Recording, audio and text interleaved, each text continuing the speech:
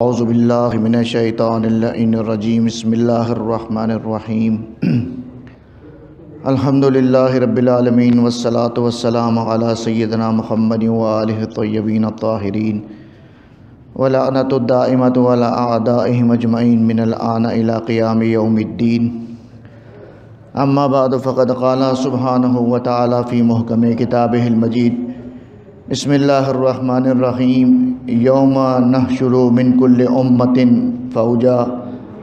मिम्मन युकज़्ज़िबु बि आयातिना दुरूद भेजे मोहम्मद वाले मोहम्मद पर।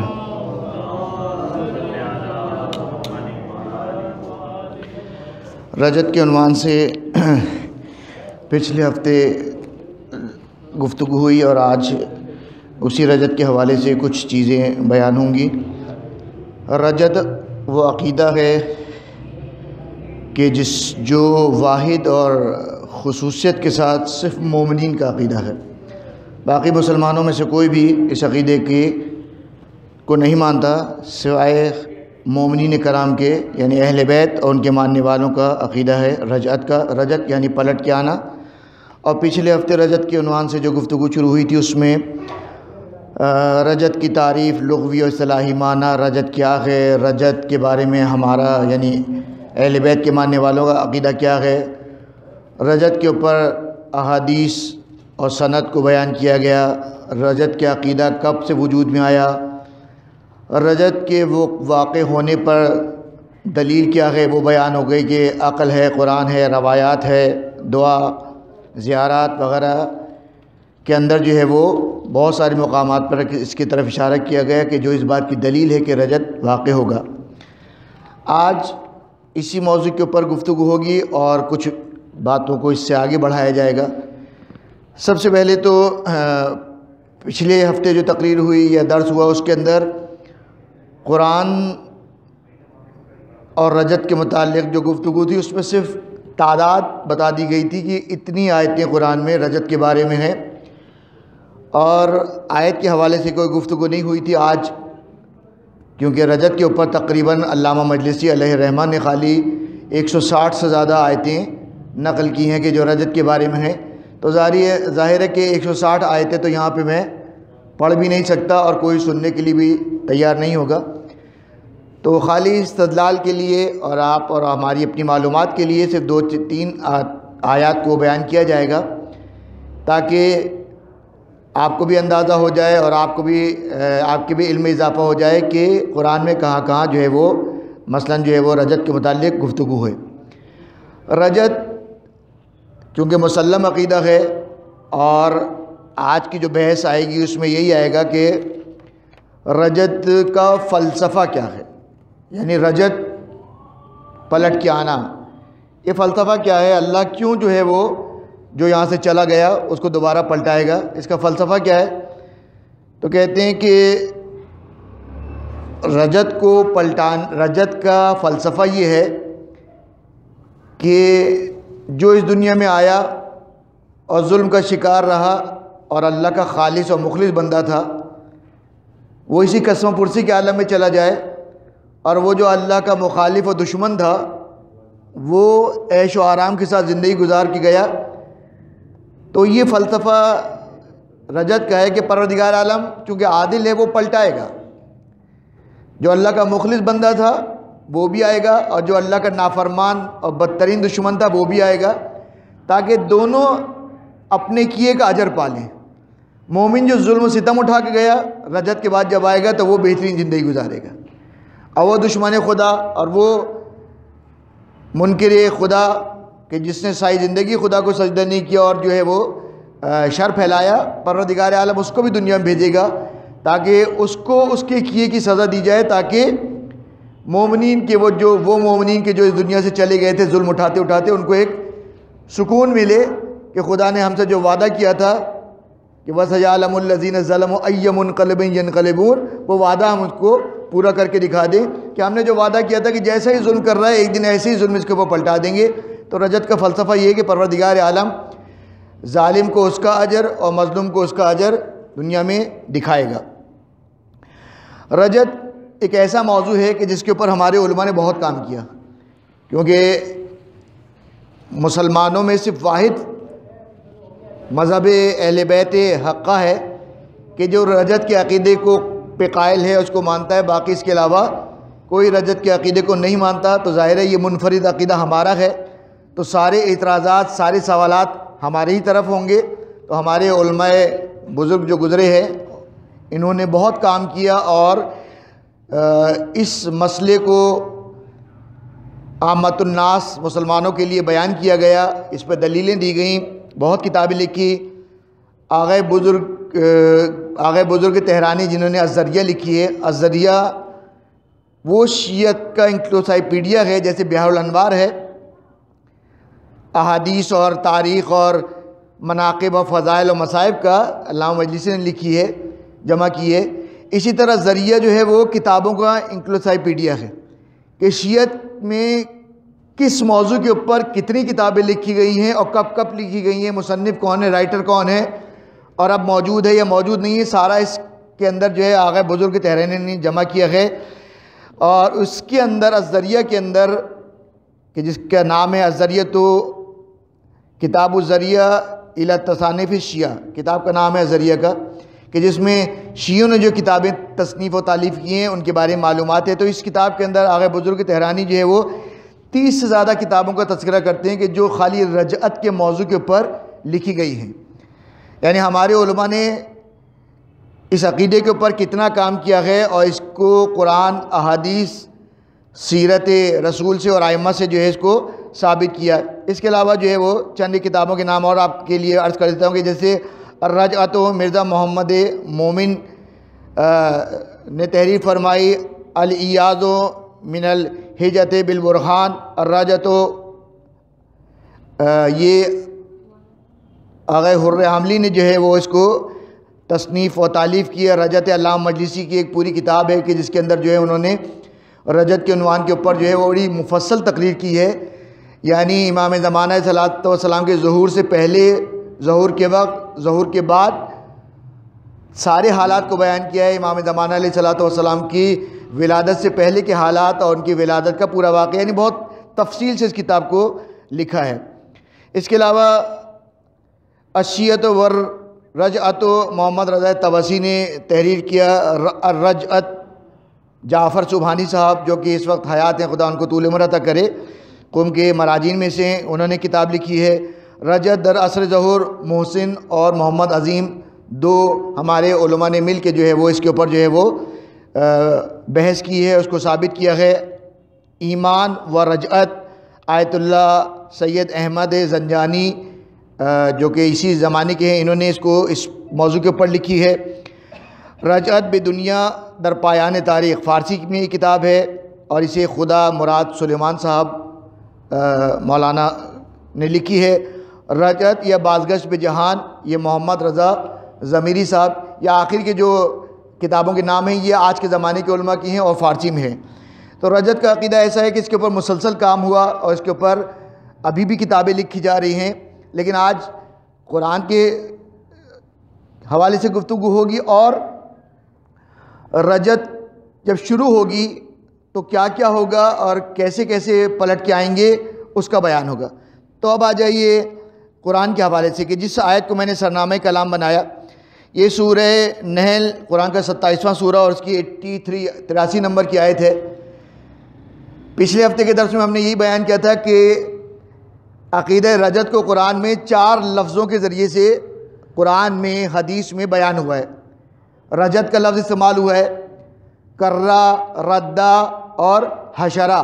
ये चार लफ्ज़ इस्तेमाल हुए हैं रजत के अकीदे के दौर, अकीदे को बयान करने के लिए। ये मैंने इसलिए पिछले दरस में बयान किया था कि बाद दफ़ा आप कुरान पढ़ेंगे और आप कहेंगे कि इसमें तो कहीं भी रजत की बहस नहीं है, लेकिन रजत की बहस ये हो सकता है कि रजा का मादा इस्तेमाल ना हो, लेकिन रद्दा या कर्रा या हशरा का मादा इस्तेमाल हुआ है। जैसे ये वाली आयत, जिसे मैंने अभी सरनामा कलाम में पढ़ा कि यौम नहशुर मिनकुल्ल उम्मतिन।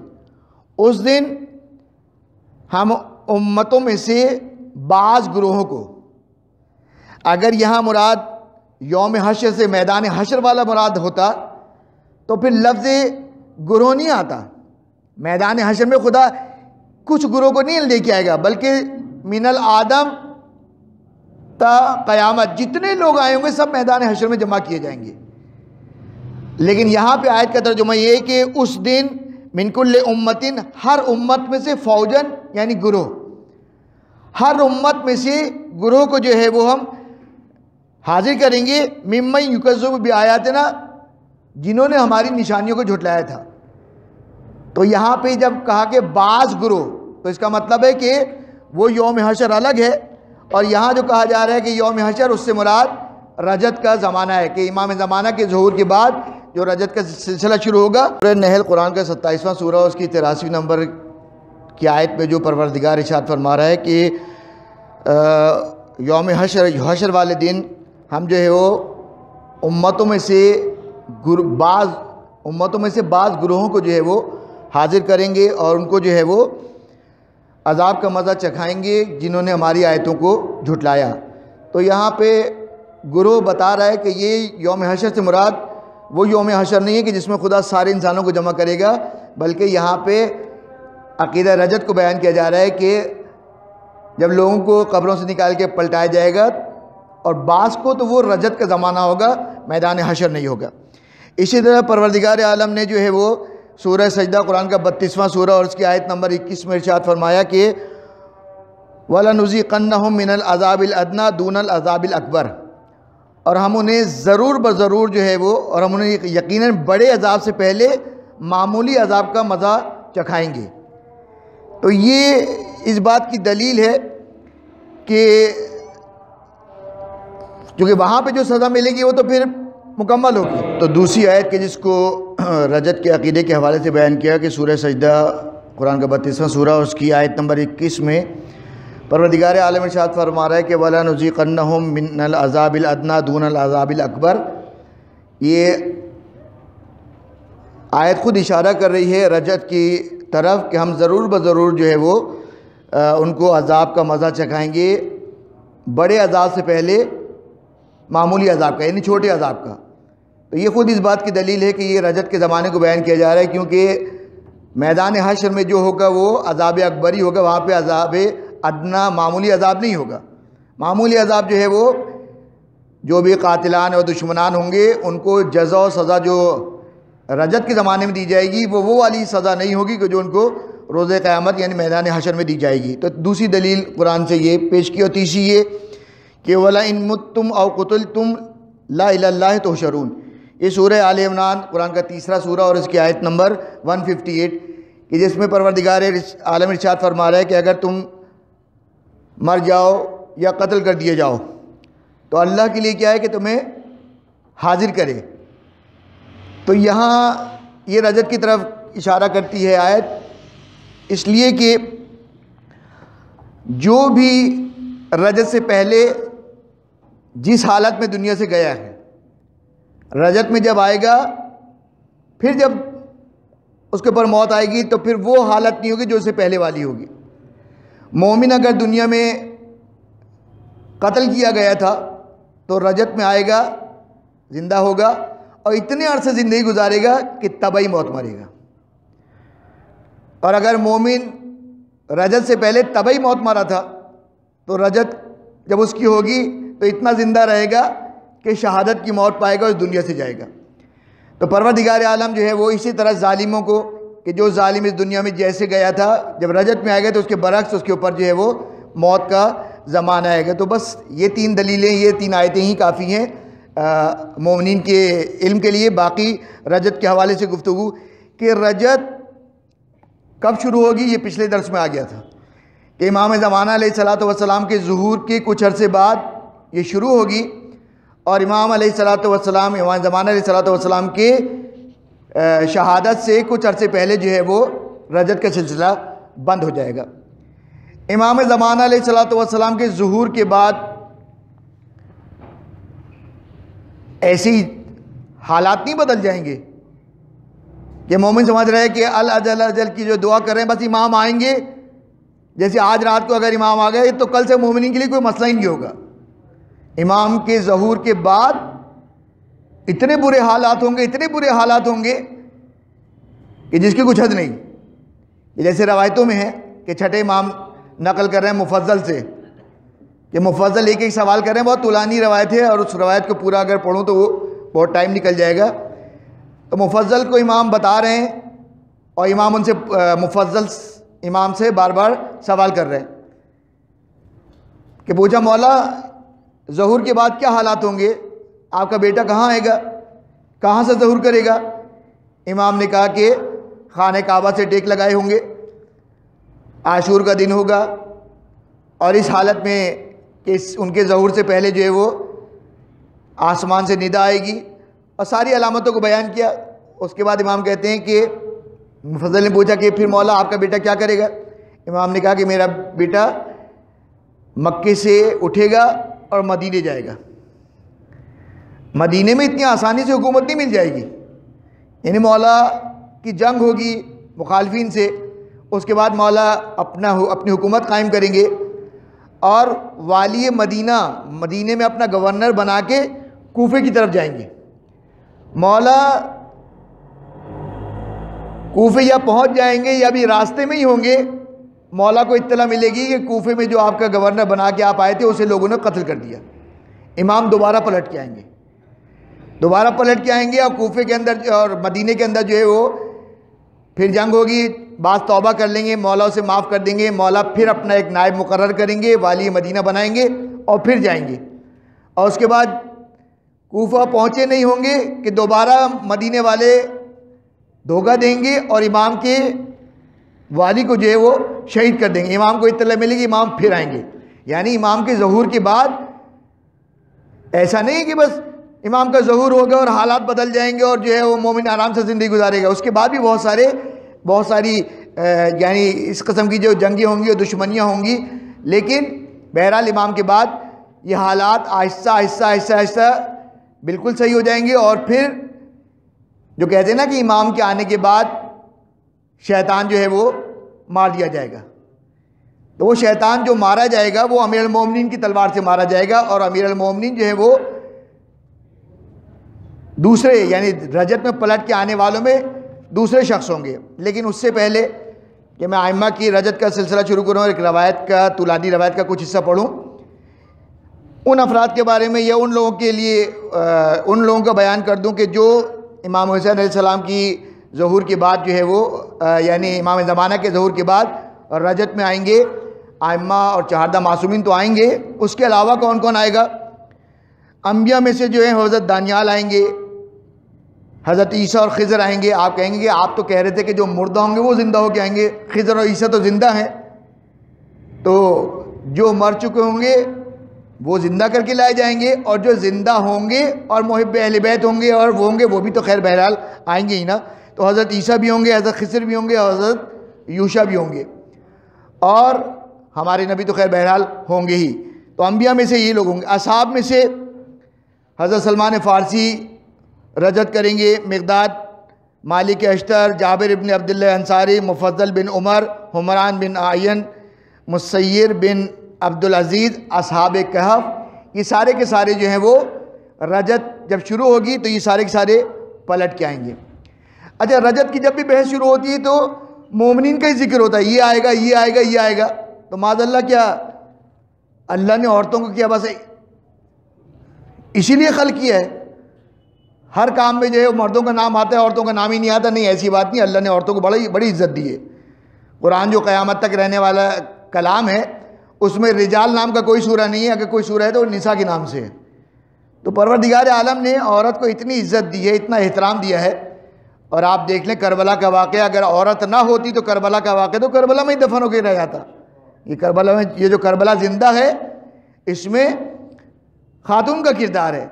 तो जब इमाम ज़मान सलाम पलट के आएँगे तो ख़वातीनों में से भी जो है, कुछ जो है वो पलट के आएँगी, जैसे उम्म ऐमन है। शहजादी कौन है? हज़रत फ़ातमा जहरा सलाम की।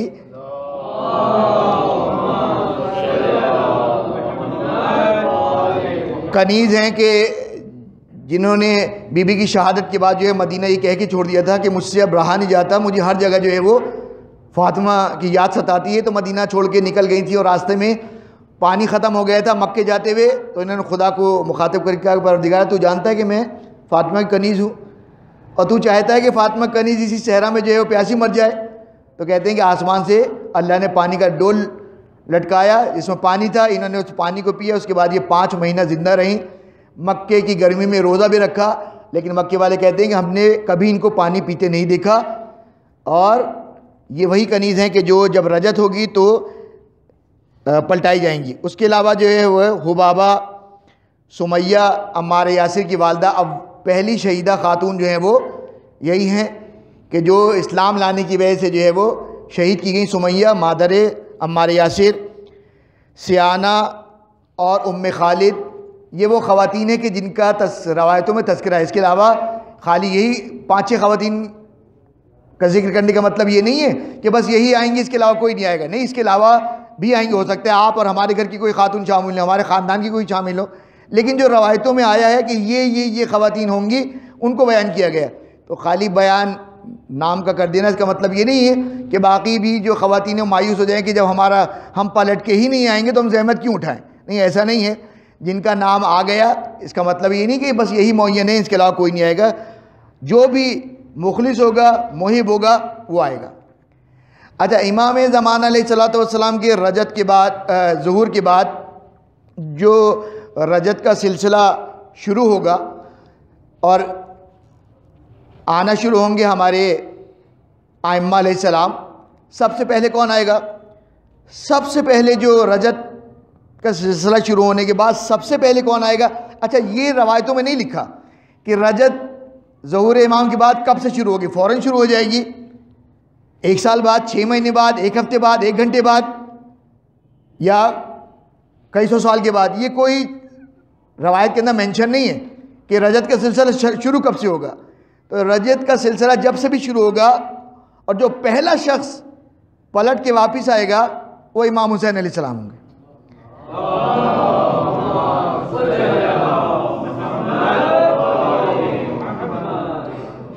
शब आशूर या रोज़ आशूर। इमाम हुसैन सलाम ने अपने असाब को जमा करके जो खुतबा दिया था, उसमें इमाम सलाम ने यही खुशखबरी सुनाई थी कि मैं तुम्हें खुशखबरी सुनाता हूँ क्योंकि इमाम सलाम जब रजत करेंगे तो अकेले नहीं होंगे।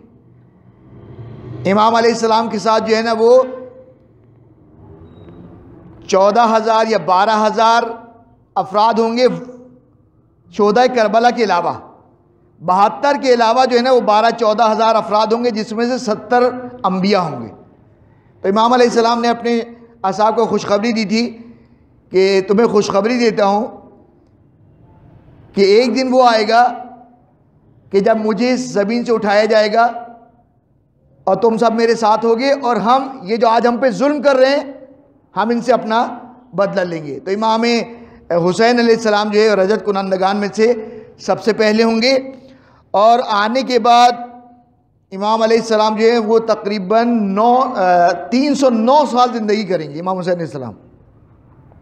इमाम हुसैन सलाम जब दुनिया में आएँगे दोबारा तो तीन सौ नौ साल ज़िंदगी करेंगे और इतने ज़यीफ़ हो जाएँगे, इतने ज़यीफ़ हो जाएँगे कि आपकी आईब्रोज ये भवें जो हैं, ये लटक जाएँगी तो इससे जो है वो ऊपर करके रुमाल से बांधा जाएगा। यानी इमाम सलाम इतनी लंबी तुलानी उम्र करेंगे और जिस, जिसने जुल्म किया था, वो सब पलट के आएँगे।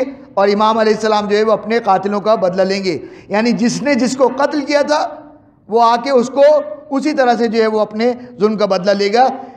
यानी हज़रत अली असगर सलाम का कातिल हुरमला होगा, उससे बदला लिया जाएगा। यानी जो जिसने जिसको कत्ल किया होगा, वो उसी तरह पलटाया जाएगा। क्योंकि रजत में खाली मोमिन नहीं आएगा, बल्कि आला दर्जे का मोमिन और बदतरीन दर्जे का दुश्मन और काफिर और मुनाफिक जो है वो हाजिर किए जाएँगे। अभी रिवायत आएगी, आप आपको उसमें पता चल जाएगा।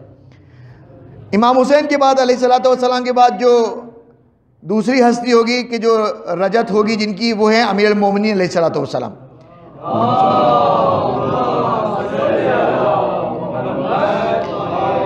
बल्कि बाद रवायतों में ख़ुद अमीर मोमिन से कि मैं वो हूँ कि जिसके लिए दो रजत हैं। यानी इमाम अमीर मोमिन दो मरतबा रजत करेंगे। अभी शहीद हैं इमाम के ज़ोर के बाद रजत करेंगे, फिर दुनिया से जाएँगे, फिर दोबारा जो है उठाए जाएँगे। खुद मौला ने कहा कि मैं रजतान, मेरे लिए दो रजत हैं। तो इमाम सलाम जो है वो, इमाम हुसैन के बाद दूसरे नंबर पे जो मासूम आएँगे वो अमीर मोमिन सलाम होंगे। और जब अमीर मोमिन सलाम रजत करेंगे तो परवरदिगार आलम अमीर मोमिन के लिए एक कुब्बा बनाएगा। कुब्बा गुंबद कह लें, या साहिबान कह दें, इतना बड़ा होगा कि इस कुब्बे का पहला सुतून जो है वो नजफ़ अशरफ में होगा।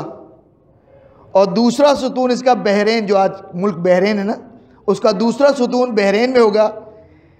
तीसरा सुतून यमन का जो शहर है ना, सना, कि जिस आज तबाही मचाई हुई है। वजह यही है कि यमन वाले इतने मुहिबान अहल बैत चौदह सौ साल से तारीख आप उनकी उठा के देख लें। यमन वाले कट्टर मुहिब अहल बैत होते हैं। ये इबन मुलजी में मुरादी जो है, ये भी यमन का था। बड़ा मुहिब अली बैत था मुहिब अली था, वो तो बाद में इसे शैतान ने बहकाया और ये रास्ते से हटक गया। तो कहते हैं कि तीसरा सुतून जो है वो अमीर मोमिन के कुब्बे का यमन के शहर सना में होगा और चौथा सुतून अमीर मोमिन के हरम का या कुब्बे का मदीने के अंदर होगा। यानी इमाम के जहूर के बाद इतना बड़ा जो है वो कुब्बा अल्लाह जो है वो अमीर मोमिन सलाम के लिए बनाएगा। अमीर मोमिन के बाद जो तीसरी हस्ती रजत करेगी, वो रसूल खुदा सल्लल्लाहु अलैहि वसल्लम की ज़ात होगी। सल्लल्लाहु अलैहि वसल्लम अपने महाजिर और अंसार के साथ जो है वो रजत फरमाएँगे और बाज़ रवायतों के हिसाब से पचास हज़ार साल आप ज़िंदगी करेंगे। रजत करने के बाद अल्लाह के रसूल जो है वो पचास हज़ार साल ज़िंदगी करेंगे। और वो सारे लोग कि जिन्होंने आपसे जंग की थी या आपके ऊपर तोहमत लगाई है, किसी किस्म का जुल्म किया, उनको ज़िंदा किया जाएगा और अमीर जो है वो रसूल खुदा जो है उनसे बदला लेंगे। जब रसूल खुदा रजत फरमाएँगे मैदान हशर से पहले रजत के ज़माने में अदालत कायम होगी। एक तो आप रवायतें पढ़ते हैं ना मैदान हशर की। उससे पहले रजत के ज़माने में अदालत कायम होगी और रसूल खुदा जो है वो अदालत करेंगे, यानी चीफ जस्टिस रसूल खुदा होंगे और एक एक इमाम जो है ना, वो आके रसूल खुदा की अदालत में जो है वो केस करेंगे और रसूल खुदा जो है वो सुनेंगे और उसके बाद उसको बुलाया जाएगा। तो जो सबसे पहले रसूल खुदा की अदालत में केस लेके आएँगी, वो रसूल की बेटी हज़रत फ़ातमा जहरा सलाम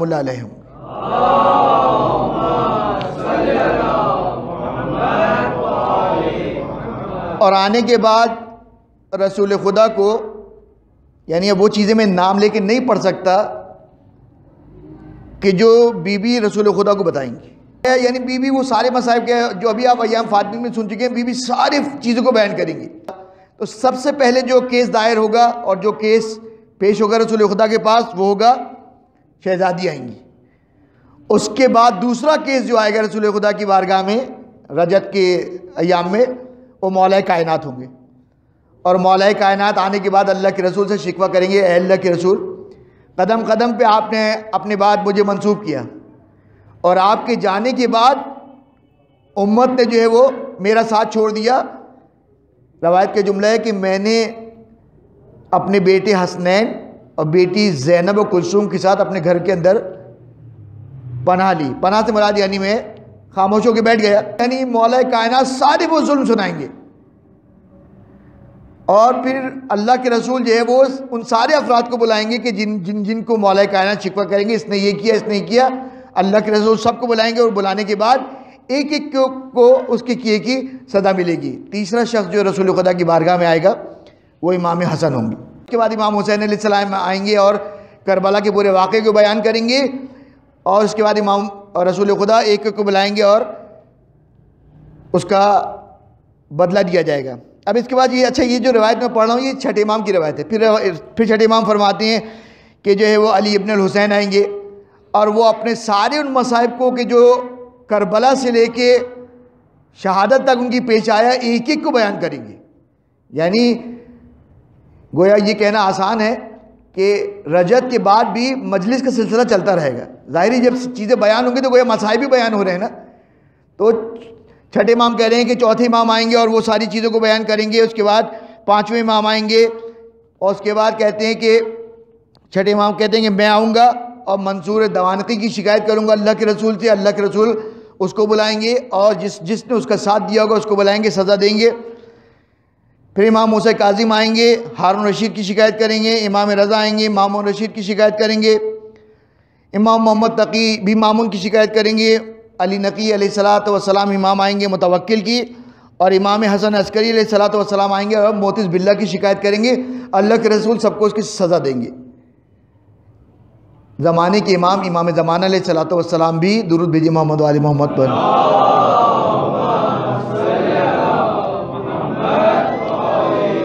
इमाम ज़माना सलात वसलाम भी आएँगे और आने के बाद अल्लाह के रसूल से जो शिकायत करेंगे ना, वो अजीब शिकायत है। अभी आपने सुना ना कि हर इमाम आएगा और आने के बाद शिकवा कर रहा है कि इसने ये हमको कत्ल किया, इसने ही किया, उसने किया। इमाम ज़माना आने के बाद अल्लाह के रसूल से शिकायत करेंगे, हो सकता है उस शिकायत में हम भी शामिल हो जाएँ। रवायत का अजीब जुमला है कि इमाम ज़माना आएँगे और अल्लाह के रसूल से कहेंगे कि अल्लाह के रसूल, आपने अपना नाम, मेरा नाम रखा। आपने अपनी कुनियत मेरी कुनियत रखी। आपने अपना लकब, मेरा लकब रखा। और आपकी उम्मत ने मेरे वजूद से इनकार कर दिया। किसी ने ये कह के इनकार किया कि अभी मेहदी तो पैदा नहीं हुए। किसी ने ये कह के इनकार किया कि अभी पैदा होंगे। किसी ने ये कह के इनकार किया कि इतनी लंबी तुलानी जो गैबत है ना, अगर होते तो अब तक आ जाते। यानी सबसे पहला जो शिकवा इमाम ज़माना आके अल्लाह के रसूल से कर रहे हैं वो अपने बारे में कर रहे हैं और हमारे मुतालिक, यानी हम सब के मुतालिक कर रहे हैं। तो गैबत इमाम में अपना अकीदा इतना मज़बूत कर लेना चाहिए इमाम ज़माना सलाम के हवाले से कि छठे इमाम कहते हैं कि वह नुरीद अन्ना मुन्ना की जो ये आयत है ना, इस आयत का शान नज़ुल तो बनी इसराइल है, लेकिन इसका मजदाक हम कि इस आयत के अंदर खुदा वादा कर रहे हैं कि हम ज़रूर ब ज़रूर उन लोगों को, कि जिनको ज़मीन के ऊपर कमज़ोर कर दिया गया था ना, हम उन्हें एक दिन जो है वो इस ज़मीन का वारिस बनाएँगे। और ज़मीन का वारिस ज़माने का इमाम अल्लाह के रसूल से शिकायत ही कर रहा है कि लोग या तो मेरे वजूद से इनकार कर देंगे कि कोई इमाम ज़माना है ही नहीं। कुछ कहेंगे कि इमाम ज़माना की विलादत नहीं हुई। कुछ कहेंगे कि अभी पैदा नहीं हुए, पैदा होंगे। और कुछ कहेंगे कि अगर होते तो आ क्यों नहीं गए? आज कहीं ऐसा ना हो कि हमारा भी यही अकीदा हो कि जब जुल्म मुसीबत और परेशानी आती है तो एक मरतबा मुँह से निकल जाता है कि अगर होते तो परेशानी हल करने क्यों नहीं आ जाते? तो इस ज़माने में अपने अकीदे को बचाना है, ताकि ऐसा अकीदा हो कि रजत में हम पलट के आ जाएँ। अच्छा रजत जब होगी शुरू टाइम भी ख़त्म हो रहा है, कि जब रजत शुरू होगी तो जो आप जहूर इमाम की बात सुनते हैं ना कि बड़ी अमन व शांति हो जाएगी और शाम से कोफा औरत पैदल चली जाएगी, उसे कोई छेड़ने वाला नहीं होगा, तंग करने वाला नहीं होगा। इमाम के जहूर के फ़ौर बाद ऐसा नहीं हो जाएगा। इमाम के जहूर के बाद ऐसा नहीं कि इमाम का जहूर हो जाएगा, सारे जो है इमाम ज़माना पे ईमान लेके आ जाएँगे। ऐसा नहीं होगा।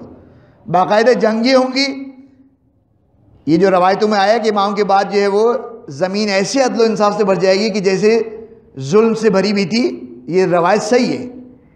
लेकिन ये जहूर इमाम के फ़ौर बाद नहीं हो जाएगा, बल्कि ऐसा माहौल बनने में टाइम लगेगा और ये माहौल उस वक्त बनेगा कि जब हमारे और आपका दुश्मन, यानी हमारे अम्मा अब्बा का दुश्मन शैतान मार दिया जाएगा। और वो कब मारा जाएगा? वो मारा जाएगा अमीर मोमिन सलाम से जंग होगी इसकी। और इमाम अमीर सलाम की तलवार से ये वासिल जहन्नम होगा।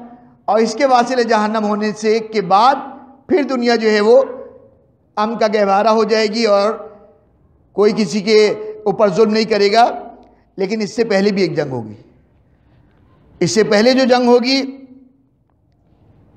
वो इमाम हुसैन सलाम की जंग होगी, बन उमैया से, आल उमैया से। क्योंकि रजत में जो है ना, वो यजीद भी पलट के आएगा, माविया भी आएगा, सारे पलट के आएँगे। तो आल उमैया जो है, क्योंकि जहूर से पहले के जो हालात है ना, वो इस वक्त जो आप सैन्यूरी देख रहे हैं ना, कि शाम और इस के इलाके के जो हालात हैं, बिल्कुल इमाम के जहूर से पहले के तकरीब यही हालात होंगे। सारा फितना और फसाद इसी तरफ़ होगा। शाम, बसरा यानी इराक, कोफा, शाम, इसी तरफ़ के इलाक़ों में जो है वो कि जहाँ पे मोमिन ज़्यादा हैं, जैसे यमन वगैरह में तो सारे हालात ऐसे होंगे। तो इमाम ज़माना सलाम के जहूर के बाद अमीर अलमोमिन की शैतान से जंग से पहले इमाम हुसैन की जंग होगी। और इमाम हुसैन की जंग किससे होगी? बनो मैया से होगी। और बनो मैया में यजीद, माविया और इनकी जितनी औलादें होंगी, ये सारी की सारी पलट के आएँगी और उसके बाद जो है वो जंग शुरू होगी। तो ये मुख्तसर सा बयान रजत के हवाले से ज़्यादा डीप में इसलिए नहीं, नहीं जाता मैं कि इंसान उगता जाता है हल्की हल्की डोज जब इंसान बहुत ज़्यादा कमज़ोर हो तो एकदम से हाई डोज का जो है वो ना दवा दी जाती है ना उसे इंजेक्शन लगाया जाता है वो उल्टा असर हो जाता है। तो इन आज यहाँ तक रजत का अकीदा बयान हुआ इन इसके बाद मैं या मेरे अलावा कोई और बयान करने आया तो इसके बाद कदम को आगे बढ़ाएगा। क्योंकि एक मरतबा मेंटली तौर पे इंसान आमादा हो जाए, अपना जहन बना ले, अकीदा सुनने के लिए तो फिर उसे अच्छा भी लगता है। तो आहिस्ता आहिस्ता इन इस अकीदे को और इस चीज़ों को बयान होगा। लेकिन अब पाँच मिनट रह गए तो पाँच मिनट चूँकि बीबी उमुल बनी सलाम की शहाद वफ़ात गुजरी है, इस हवाले से दो चार बातें बीबी के हवाले से, मसाइब भी नहीं पढ़ूँगा। सिर्फ़ बीबी की अजमत के हवाले से कि बहरहाल, इस बीबी की फजीलत क्या बयान हो? कि जिसके बेटे को रसूल की बेटी अपना बेटा कहे।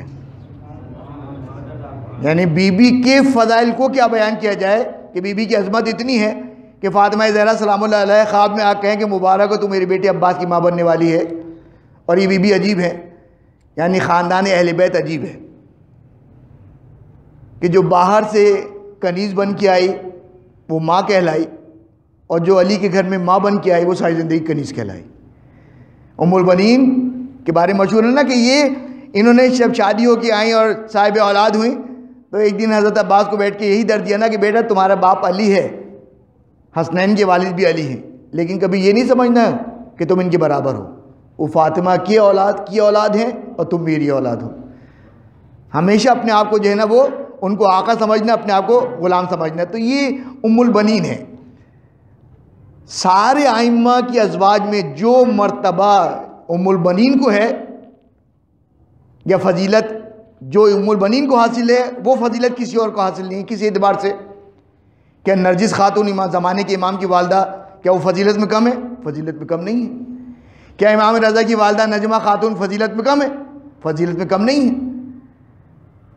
सातवें इमाम की जौजा को जो है वो, छठ इमाम देख के जो है वो तारीफ़ कर रहे हैं कि ये अनकरीब मेरे ऐसे वारिस की माँ बनने वाली है और ये पाक दामन और ये क्या क्या फ़जाइल पढ़ लें हर आइमा की सीरत, वालदा की सीरत आप पढ़ें तो अजीब फ़जाइल मिलते हैं उनके।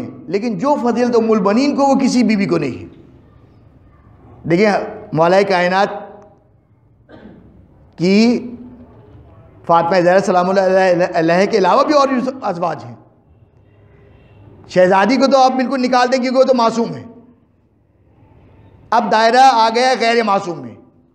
मौल कायनात की शहज़ादी के अलावा जितनी अजवाज हैं वो, और इमाम हसन सलात वसलाम तक जितने आयमा गुजरे। सब के अजवाज को मिला, शामिल कर लें। जो फजीलत इनको है उमुलबन को किसी को नहीं। किसी इमाम की जोजा बाबुल हवाईजा नहीं है सिवाय उमुल बनीन की। हती इमाम ज़माना की वालदा भी, आप उनके वसीले से मांगे, अल्लाह देगा। लेकिन उनका लकब बाबुल हवाईजा नहीं है। और ये वाहिद बीबी है कि जिसकी दूसरी खसूसियत ये है कि जो खुद भी बाबुल हवाईजा और जिसका बेटा भी बाबुल हवाईजा यानी अजीब बीबी है ये कि अगर बाबुल हवाइज के दायरे को और बड़ा किया जाए तो हर मासूम बाबुल हवाइज है। तो ये बीबी कितनी फजीलत वाली है। शौहर बाबुल हवाइज, खुद बाबुल हवाइजा, बेटा बाबुल हवाइज यानी इस बीबी की इतनी फजीलत और मंजिलत है और कहते हैं कि बीबी के तवसल से खुदा इतनी मुरादें पूरी करता है बीबी उमुल बनीन के तवसल से, कि जब भी मुसीबत आ जाए, नियत करो कि एक सलवार पढ़, की तस्वीर पढ़ के बीबी को हदिया करूँगा, कहते हैं वो मन्नत पूरी होती है। उलमा से नकल है कि अगर कभी कोई मुसीबत और परेशानी आ जाए, नियत करो कि अगर ये मेरी मुसीबत खुदा ने हल की तो मैं अल्लाह के लिए एक कुरान ख़त्म करूँगा बीबी उमुलबनीन की नियाबत में। तो कहते हैं कि वो मुराद पूरी होती है। तो ये बीबी बीबी उमुल बनी, बाबुल हवाजा वो बीबी हैं। कि जिसका शौहर सारी दुनिया का मुश्किल कुशा। और ये बीबी वो है कि जिसका बेटा औलाद अली का मुश्किल कुशा। यानी सारी दुनिया को अगर परेशानी हो जाए तो ये अली मदद कहती है। और करबला के मैदान में जब भी किसी को परेशानी हुई तो सबने हज़रत अब्बास को बुलाया। चाहे इमाम हुसैनी क्यों ना हो, चाहे अली की बेटी जैनब कुलसुम क्यों ना हो। मकातिल में आप जाके उठा के देख लें, करबला के बाद जब कैदी बना के ले गए तो सबसे ज़्यादा अगर किसी को याद किया है इन बेवा यतीमों ने तो वो हज़रत अब्बास थे। इसलिए कि हज़रत अब्बास जब तक हयात रहे, हर चीज़ में हती इमाम हुसैन भी अगर किसी चीज़ के लिए मशवरा करना होता था तो हज़रत अब्बास से मशवरा करते थे। लेकिन करबला में असर आशूर के बाद के जब कत्ल कर दिए गए, अब जगह जगह पे मुसीबत तो पड़ रही थी ना। कभी कोड़े लगे, कभी ताजाने लगे, कभी तमाचे लगे तो कहते हैं, जब भी किसी बीबी के ऊपर कोई मुसीबत आई तो अली की औलाद ने मुश्किल के वक्त जो है ना, वो अली की बेटी अब्बास को पुकारा।